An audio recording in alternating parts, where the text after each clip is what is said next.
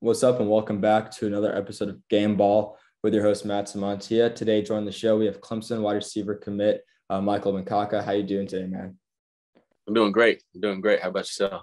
I'm doing pretty well. I'm doing pretty well. But uh, my first question I have for you to kind of start off is probably a big one. So your freshman year, you came to a, I guess, a Clemson, you know, football uh, camp. You know, I feel, like, I feel like I've read that all over the news about you, and you know, you, you obviously did really well. But what was it like, you know, going to that camp and being able to line it up and have a good showing? I mean, freshman year, it was like it was really eye opening because I grew up. Um, you know, I, I, got introduced to football at a young age. Now it, it was always my dream to, you know, go play D one or go play big ball. You know, someday go to the league and um, going to the Clemson camp. That was my first like real like wow. You know, like you get to experience like you see competition that you might be going against uh, when you go there and you see how they carry out everything and um, you also see the guys that they recruit and like you try and match yourself up you know compared to them. So it was big it was a big eye-opener. It showed me where i needed to grow showed me things i was doing good at. Um, uh, but it really just kind of made me um, have a bigger drive if that makes sense and, yeah definitely. uh, face my purpose in football more. So yeah. Yeah, for sure. You know, something I, I also saw that you spoke about was when when it was happening, they I guess they split up the camp where there's like, you know, the D1 guys had all these had all these offers and the rest of the bunch, and you kind of got grouped with all these guys that had tons of offers, where there's players that had 10 offers already, whatever the case may be. But did that kind of like make you realize like, hey, I, I can go D1? Like I am hanging with these guys. I'm I'm division one football type. Yeah, so that actually didn't happen until um, uh, this year's camp. Oh, so okay. Okay. summer camp. Uh-huh. Uh, but it was the same exact way, you know, freshman year, like you were split up. Like you knew people at camp knew like who was potentially going to get offered, who was getting looked at, mm-hmm. who wasn't at. But it wasn't a thing where it was like it was already set. So if you're making plays, like would switch people in and out. And so freshman year, um, I didn't, you know, get to go in that group. But like not going in that group also made me like more hungry if that made sense like it it, it just it, it put that like drive in me to know that like I still gotta improve on this, this, this. Um, but this year when I went to the camp, yeah, it definitely like I don't know it because when I went there freshman year, I didn't go to get and I didn't get to go in that recruiting group. You know, I didn't get to you know really show off what I could do in front of coaches. But when I went back to camp this year and I got called up to that recruiting group, that definitely like you said, that definitely, you know, put that like, hey, I can definitely hang with him. I can, I can, I can play around with him. Yeah, definitely. And so, I guess this year's this summer was this the one where did it happen this camp when Coach Swinney like kind of called you out in front of people and used you to like demonstrate like certain routes or something you were doing impressive? Um, yes, that did happen uh, a couple times, or I think it was, I think it was once or or twice. It was a couple times during camp where I was just doing the little things, um, and he just happened to call me out, um, and he just he said, "Hey, like you know, run this route," and you know, ran it well, and and it and definitely caught their eyes. So, you know, it was I feel like that was some of that, just like you know, performing, getting to show what I can do um, in front of coaches, um, and you know, just just playing cool under pressure. So it was good. I had no idea you knew about that though. That was surprising. Yeah, nah, I, I did my research, I guess you could say. um, but uh, how, how did that kind of make you feel though? I mean, that's Coach Swinney, like one of the best coaches in college football, calls you out of camp to to like make you do do this, show people how to run a route and stuff. Like, how did that make you feel? It's very humbling. Like it was, it's kind of surreal if that makes sense, because I'd never really talked to Coach Swinney before that. I'd only really saw him on TV, and we took a couple pictures and talked a little bit um, the previous camp the day before, but there wasn't like an official, you know, like meeting. You know what I mean? So mm-hmm. uh, it was very surreal. Like it, it, it motivated me, and um, I kind of, I still kind of had that picture in my head until today. So it was a, it was a great moment, and definitely something that I won't forget. But it also like it also just showed me how coach is going to coach his receivers that go there as well. You know, he's not going to be afraid to call them out or tell them to do something in front of somebody if they're doing it right or wrong, um, and show them how to do it right. So, hmm. Definitely. You know, you, you mentioned the word surreal, and that that's a you know big word right there. When you uh when you actually accepted your offer, I guess on a when you tweeted out that you're committed to Clemson, you know, you said it was a very it was very surreal that you'll have the opportunity to play there and be a part of one of the best programs uh, in the country. But when you got that offer, when you got that call to be, uh, you know, a PWO, like you have the opportunity to play there, what was going through your mind? Like, what was happening? It was weird, if that makes sense. Like, because I had just gotten off the phone with Harvard, and you know they were looking at offering me. Um, they didn't outright say it. There's still some things that needed to be dealt with. Mm. They were going to come back to me, but um, I was also getting recruited by some other schools. So my recruitment was kind of like starting to boil down, if that makes sense. Mm-hmm. Uh, schools were saying they were going to offer, they wanted uh, some more tape. Um, you know, they wanted to see how I do with competition down here. And so it was really um, like kind of like a crunch, if that makes sense. And so when coach called me, it was just like out of the blue, five minutes after I got off the phone with Harvard. And he's like, hey, man, you know, obviously, you know, me and Coach Grisham have a good relationship. So, you know, he's asking how I was doing, how my day went, you know, stuff mm-hmm. like that. Uh, and then it got to the point of the conversation. He's like, hey, man, you know, we'd like to offer you, you know, a PWO offer. And, uh, you know, we'd love to have you here and stuff like that. And like the moment he said that, like, I was kind of thinking, like, wow, like hard work paid off. Obviously, like the hard work isn't done yet, mm-hmm. but like the part of the hard work that needed to be done in order to be re- like recognized, if that makes sense, and like my hard work be put into fruition so that I can be able to get offered. That part of the journey was like, okay, like, you know, that paid off, mm-hmm. stuff like that. Um, so I was just really happy. You know, obviously I told them like, hey, I'm definitely coming because I was, I mean, Clemson, that's my dream school. And I was set on like, you know, the first school that really decides to pull the trigger on me. Um, I'm definitely going to uh, take a long, hard, you know, like uh, I'm, I was almost set on committing on basically anybody who was going to offer me. So, mm-hmm. um, you know, coach offered me, and uh, they're the first school to do that. Um, and uh, it was, to me, it was a no brainer. So, mm-hmm. called my parents afterwards, called people who were close to me, and it was definitely, it was definitely a, a good day. Yeah. So, like when you you were saying, as soon as you kind of got the offer, like you knew you're gonna take it, like you knew that's where you wanted to be. Yeah. I mean, even if I would have delayed the process and picked up some offers from some other uh, Power Five schools or some full offers from other schools, I still felt like I would have committed because it was just growing up, like watching, you know, Sammy Watkins, DeAndre Hopkins, mm-hmm. um, Tee Higgins, all the Clemson guys, Hunter Renfrow, Justin mm-hmm. Ross, like it was it just it just felt right. Like I couldn't really see myself at any other school. Yeah, definitely. And you know, you mentioned you had a good you have a good relationship with Coach Grisham. I guess you stayed in contact a little bit beforehand. Uh, yes, but sir. how do you think that relationship that you built with him will help you be able to excel at the next level since you already have a going with the right wide receiver coach? I feel like it'll help a lot because sometimes players feel like restricted in the way that they can have whether it's a relationship or go to their coach about something. And me, I always like to, you know, get critiqued and and find out where I need to grow and then fix that area so I can be better. And so if me and any coach or whoever I may need to get the help from, if we don't have a good relationship, I feel like that can hinder how we communicate, you know? Mm-hmm. And so you don't want something to have any effect on how you want to you know perform or um, how you can go to a coach for something. I just feel like it'll help make things you know more comfortable and mm. all that type of stuff. So definitely.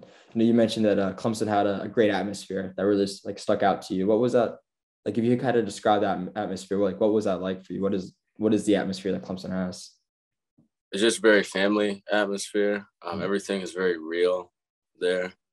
Um, it was it was a you could tell it's faith based too, um, and everything that they had just just wasn't forced. It was very real. You know, they didn't have to try and pitch anything and try and fake anything. It was just it was just real from the from the jump, and it was a family atmosphere, and you just you just felt uh, like you needed to be there.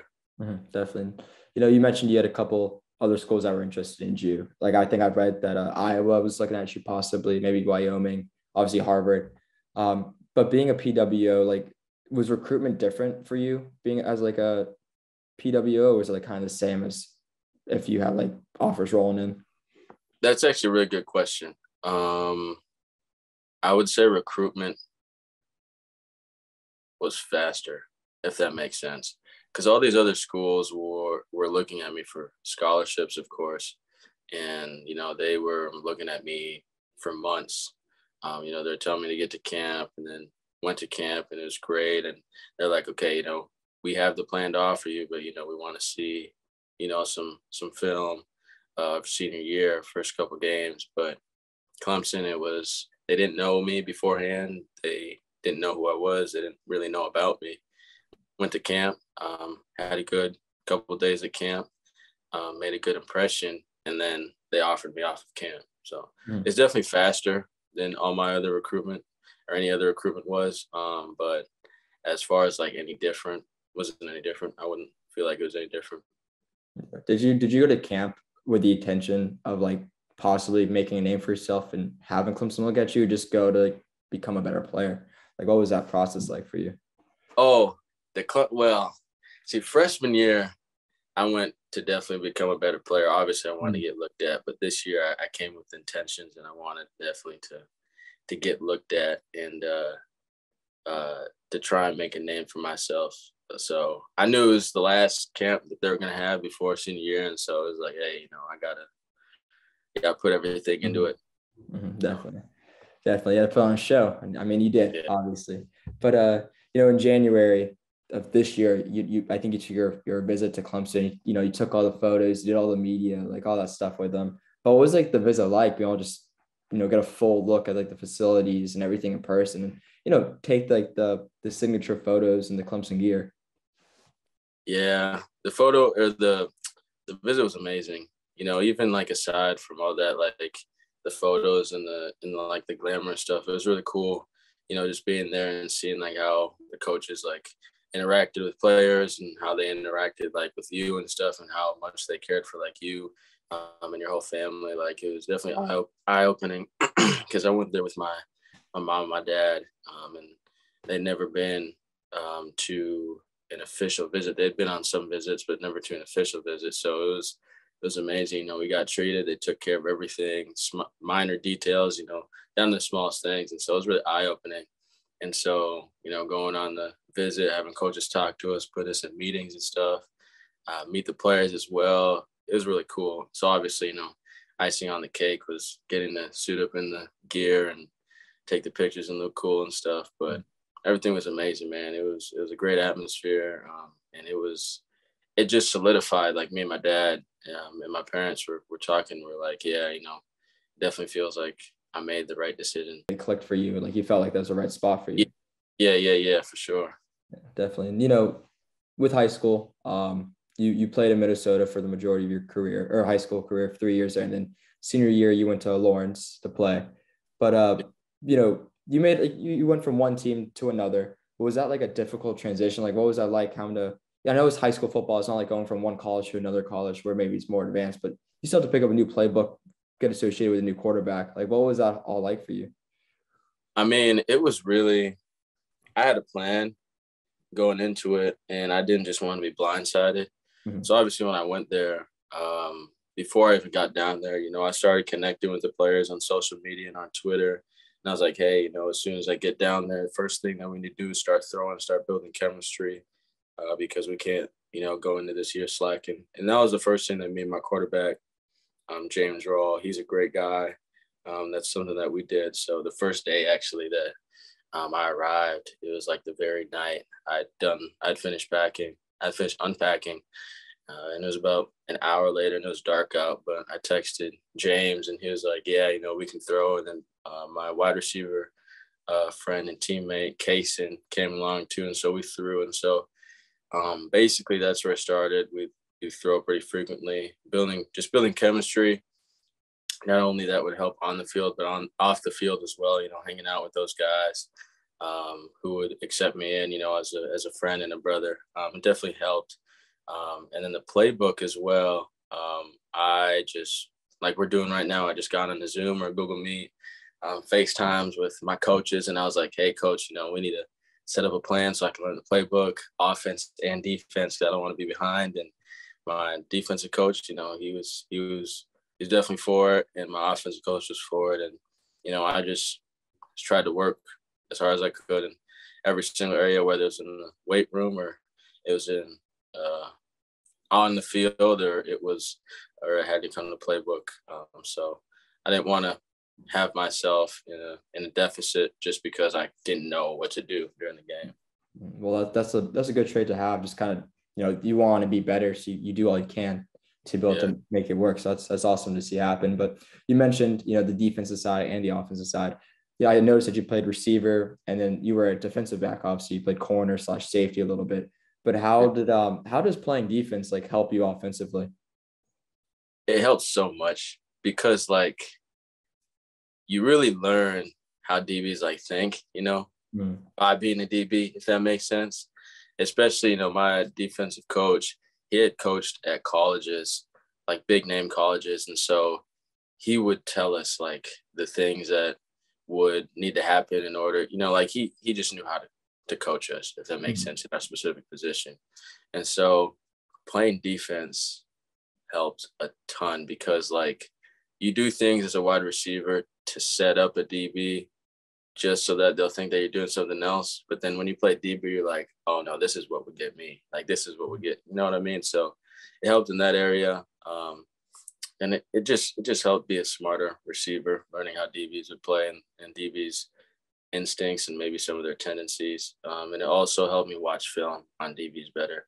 Because as I played DB more, I started watching film myself and I started getting coached up seriously at DB. And so then I'd watch film on other DBs and see where other DBs' weaknesses were. And I'd try and um, tell coach about them and we'd try and attack it during games. So definitely, definitely. Did you, um, you know, obviously you're going to be a receiver, but did you, did you enjoy being a defensive back?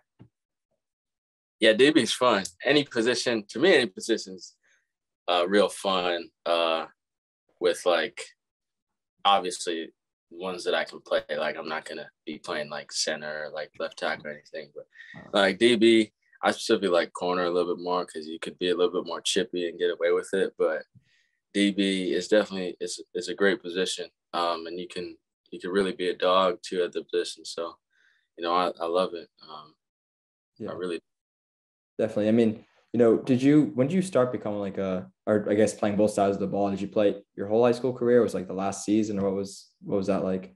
Yeah, so early in my high school career, I was strictly a wide receiver. Hmm. Um and I, you know, I really like wide receiver. That's where that's where like I, I started. Well, I really started running back, but that's where I really started to shine. At, uh, was wide receiver. So I love wide receiver, but uh, I came here and they had some team needs, and they're like, hey, you know, we got a bunch of receivers, but we don't have as many, you know, corners and stuff that are willing to play, uh, or maybe that can play. And so I was like, you know, I'm team over me. So I decided, you know, I'll just play both sides of the ball, um, which was something that was great for me because it would get my conditioning up in time and it get me more acclimated to the weather quick more quickly. So I just felt like it was a great opportunity. You know, played DB, um, and and I loved it. So it was the last year I I had practiced a little bit early on in my football career, but um, it was mainly this last year where it was legitimately two way player. Hmm. Did um playing DB help you with your your footwork in any way? Oh yeah, hips. Biggest thing was hips and feet. Like receiver, for me, I never really understood like and coach was like, you know, got to get your hips right, got to get your feet right. I was like, mm-hmm. okay, I'll, I'll, do it, but I don't really. Went to DB and I was like, oh, okay, hips and feet are huge. Just getting out of breaks, sinking your hips, like not taking as many steps uh, uh, that may not be needed. You know, being clean out of breaks, being efficient on where your body uh, movement is and how you lower your weight and stuff. All that stuff, like it, it helps and it it definitely improved. I felt like too. Yeah, definitely. Well, another underrated. I don't know if it's underrated trait of yours, but you're obviously pretty fast. You're a pretty speedy receiver. And yeah. uh, part of that, you also, you know, you ran track. You know, you told me to track me like early, earlier this week. But uh, you know, how did how does running track help you with the football side of things? Running track is really so I now I'm doing the 110 hurdles. Um, I may be doing the four by four high jump, uh, triple jump, all those stuff. And running track definitely it helps and like I'd say, you know, obviously form, being in shape is a big thing too. But when it comes down to just sprinting, just like the sprint mechanics and just like having that top end speed to able to break away from somebody. Um, the way I see it, and some people may agree, some people may disagree, but you run differently for football than you do for track. Mm. Uh, I do. And so um, football, you know, I feel like I may be a little bit quicker, but when it comes to that top end speed and, and speed mechanics and sprint mechanics, I feel like track definitely helps improve those and helps you be more efficient when it mm. comes to that. Definitely. Well, do you think you're gonna possibly look into doing track while you're while you're in college? It would definitely take uh, if the opportunity presents itself, I would not turn it down. No. There, there you have it. Right, you're possibly gonna run track here. That's that's what I'm hearing. you might do it. You might do it. But uh, you know, with your with your play style as a receiver, like I mentioned, you're pretty speedy. You're pretty fast. So you can get off the line fast. But you know, what do you think your best trait is as a receiver? Hmm, that's a real good question. I'd say my best trait is I'm not afraid to get physical. Mm-hmm. You know what I mean? Like some some guys the way I may see it, they may be a little bit afraid to get physical, but I feel like I'm not, you know, afraid to get physical. Um, I obviously don't like it when DBs try and get their hands on me. That's it's one of the things that I hate the most. But obviously, you hand fight for that. So yeah. I feel like not being afraid to get physical, um, you know, using your body, um, using it to try and control where the DB's going or fake them out or whatever. So I'd, I'd say not not being afraid to get physical. Definitely. Well, I mean, obviously, this is a little bit different running a route compared to blocking. But when I yeah. watch at least your huddle and watch a little bit of your film, I noticed that you're not afraid to put your hand in the dirt and block someone all the way down the field. So that's like that is something impressive to see from a receiver because you know, most sometimes you know receivers get the get the like they get class into being guys that don't want to get physical, don't want to block. So I thought that was like you know really interesting that you're willing to do all that you can. Well, yeah, because I mean, obviously, being unselfish and it is you know another job of the receiver is to block as well, but it just I mean, why not? I mean, it's it's just having fun during football and blocking is, is something that I find fun, um, especially downfield blocking and making plays. And even when you're away from where the play's going, it's still fun to, you know, block, put somebody in the dirt. And also the other thing is too, like if I'm running the ball, I'm gonna want somebody blocking. So, you know, why not return the favor? Yeah, definitely, definitely. I mean, hey, it is football. You want to get a little physical with it. I mean, play defense too. Like you know, tackle. Like you can, you can do it all. You can do it all. Um, but something I thought was a little bit interesting. You know, going back to so you transitioned from one high school to another. How do you think having something like that, having a transition between two teams will now help you at the next level, transitioning from high school to college from one team to another? It's definitely going to help me with things that I have to focus on and things that I may not have to mm-hmm. worry about or focus on, if that makes sense. Yeah. Um, but it's also going to let me know and remind me, like, you know, the playbook, getting in shape, like all those things that are different. Like, obviously, any step to a next level is going to be different because that you know high school to high school that's like okay. But high school to college that's definitely going to be um, a different step. So it'll just help me you know remember the things that helped me transition from one high school to high school they'll just help me remember like okay you know this is what you may need to focus on this may not need to be uh, a focus at this time and also just it helped me with my work ethic. And I feel like my work work ethic will only get better um, once I get to college. Yeah, definitely. And so I could be mistaken here, but I watched a video. It looked like he played at the Vikings football stadium. that did that happen ever? Yeah. yeah. What was that like for you? What was it like playing in the NFL stadium? Yeah, so that was when was that? That was sophomore year. Mm-hmm. Ah, that was two years ago. So you really are doing your research, but that was, that was two years ago. Um, it was great. It was really good. I mean, it gave me a taste for what obviously, you know, playing football for me, the, the end goal is to be in the NFL and have a good career in the NFL. But it was it was great, you know, seeing how the field was built, you know, how the like the hashes were in and how much wider the field was, and then like the stadium and, and just the turf itself. Um, it was a lot different than what we played on. So it was it was definitely good. We didn't win that game, so I don't think I had too many good memories about that specific game, but it was uh it's definitely uh it's definitely it's definitely uh eye opening and, and fun as well. It was just a great experience. So. Yeah, definitely. I mean, hey, you played in an NFL stadium. That's pretty cool. Like regardless yeah. of maybe even yeah, you want to win, but that's still pretty yeah. cool to be a part of. Uh, but like, why'd you guys play there? Was it just for a regular game? Was it for like state championship? Like, what was like the? So, the Minnesota Vikings would have this thing where they would have, uh, I think it was their training camp, um, main field that people that they would scrimmage on. I'm pretty sure, um, and they would have high school people play, teams come and play um, on that field every once in a while. So we actually got to be, I think it was like one of the first or one of the first five or something teams to go over there and play. Um, and we're playing against a section rival. Um, so we, I think we did we didn't get steamrolled, but we definitely got beat. But um, it was it was an important game. If we beat them, I think we would have got a better placement going into the playoffs. But it wasn't a championship or playoff game or something like that. Oh, that's cool. I mean, hey, and if you and if you did get steamrolled, like you're not gonna admit that. You're not gonna blown out. Like, come on.